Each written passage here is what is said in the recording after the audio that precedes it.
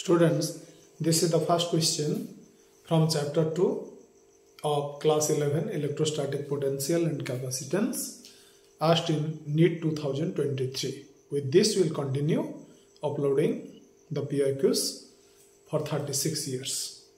The equivalent capacitance of the system shown in the following circuit is. Students, we know when capacitors are connected in series, then their uh, equivalent capacitance becomes student 1 by C is equal to 1 by C1 plus 1 by C2 plus suppose n uh, capacitors have been connected in series then this becomes 1 by Cn. And when they are connected in parallel we know we have studied in studied a theory student that that C equivalent becomes how much? That is C1 plus C2 plus dot dot dot Cn.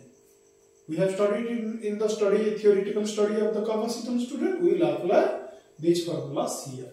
Here two capacitance of uh, 3 microfarad student have been connected in parallel.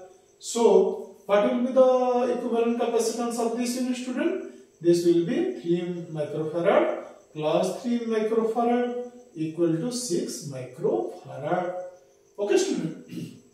So we may also write this as uh, 3 microfarad and this is uh, in series connection with this 3 microfarad and what is this equivalent? That is that has become 6 microfarad student and this is B and this is A then what will be the capacitance?